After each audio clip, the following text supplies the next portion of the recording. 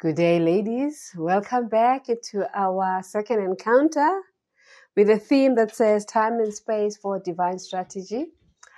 Uh, to, to understand that, we need to go back to our previous session, our previous encounter, where we looked at developing some divine strategies.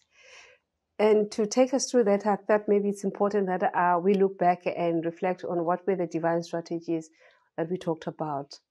And I think maybe it's important for me to recap the strategies that we talk about in order for us to look forward in terms of how are we moving forward when we're developing those strategies. The first one said, control is not the goal. And when we say control is not the goal, we met, we looked at Exodus 9, verse 1, where Moses was actually asked to go to Pharaoh, where he was asked to, to, to tell Pharaoh that the God says, let my people go. And in that, it shows us that actually Mo- Moses was not in control. And for him to be able to be in power and be in control, he, that was not important. But actually, he had to allow himself to know that that is not his goal to be in control. The second strategy that we look at is to learn to trust God. And learning to trust God is whatever it is that He's doing is for our own good. And in Psalm, we looked at Psalm 13, verse 5, where I trust in your unfailing love, is what it said there. And if we trust in God's unfailing love, it simply means that whatever it is that He you go through, you've got to have faith that actually is for your own good. He's always with you, He's supporting you. The third strategy that we looked at was to create an image of that in love. And we looked at the book of Matthew 16, verse 24 to 26. But what the book says to us, or what is the message that we get is actually self um, self sacrifice is actually God's way of finding yourself. And if you give yourself and you sacrifice yourself to what is required, you actually are finding who you are, getting to know yourself. The fourth strategy that we look at was actually challenging false belief. And how do we challenge false belief? We look at the book of Romans 12, uh, verse 2, where actually what we looked at is don't conform to the patterns of this world. And if, you say, if you're not conforming to the patterns of this world, you need to be transformed and renewed. And linked to that, we move to the fifth strategy, which look at discovering your true identity. How do you discover your true identity? Is actually being transformed to His image.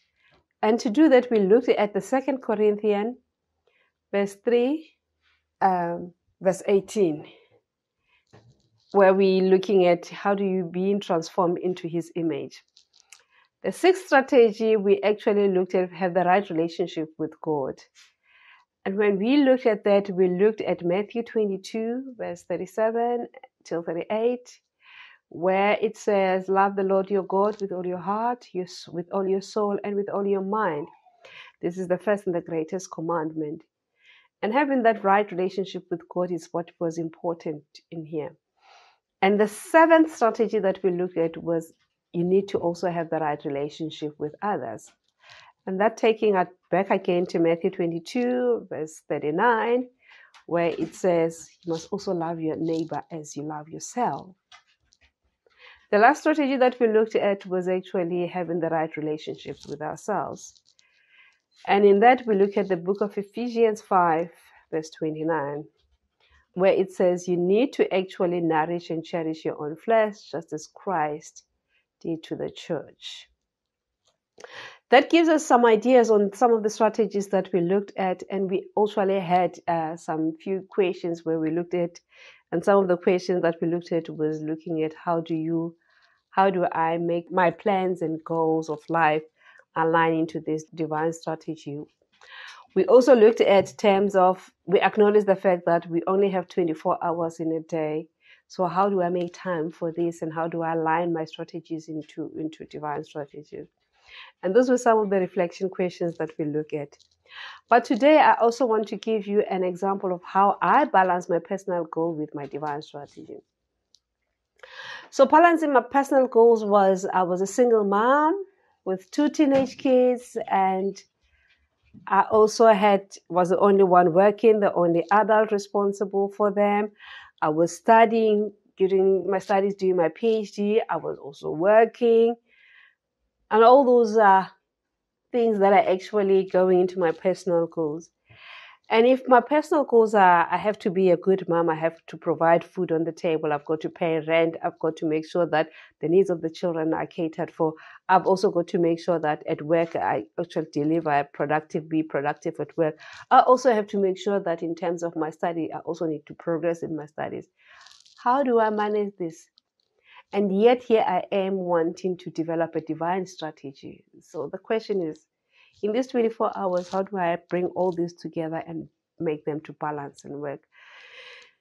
And I had to sit down and and unpack my 24 hours. How do I manage my 24 hours? The best way of managing my 24 hours is looking at okay, what it is that is doable. So the first thing that I was able to do was to start looking at how do I spend quality time with my family?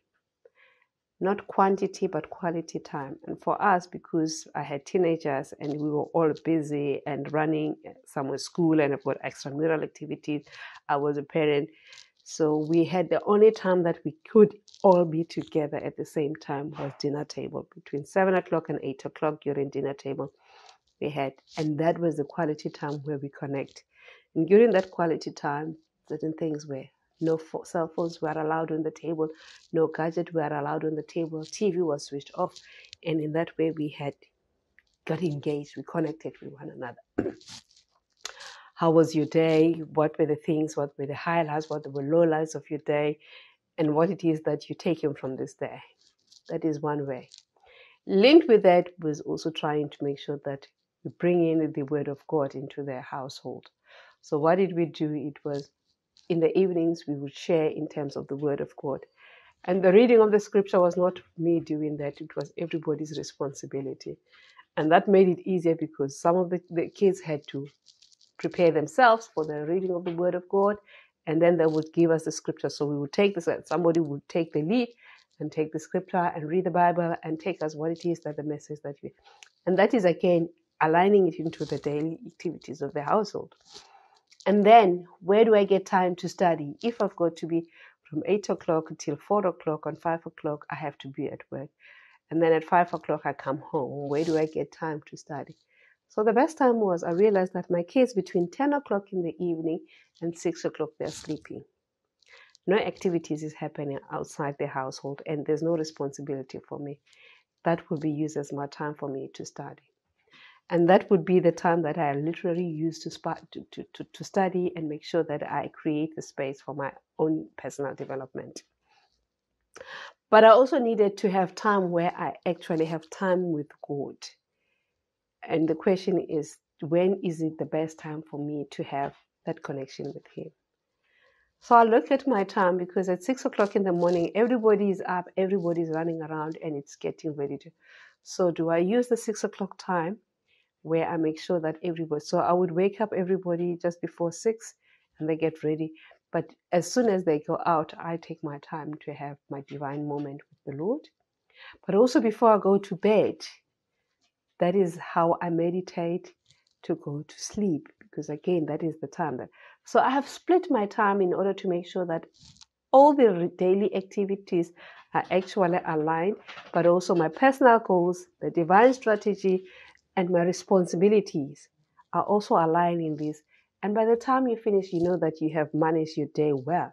Each day you've got to reflect what have you done. Each day you've got to reflect how thankful you are to God. Each day you've got to reflect that what it is that I needed to do and for my children. You also have to. So the question that I have I balanced my personal goals and with my divine strategy? Yes. I have incorporated and made my personal goals and my distra to match as one. It was not easy to do that. It was a process that I had to learn. And practicing doing it consciously on a daily basis, it simply means within six weeks of practice, you actually have managed to learn something. And you learn a skill that becomes part of your lifestyle. And in that way, you would have managed. Have I aligned my divine strategy with my personal aspiration? Yes. My personal aspiration and my deep have merged into being one because I have connection with God and God is guiding my life and my family and everything that I do is actually grounded in Him. Personal changes and behavior in order for me to achieve these divine strategies.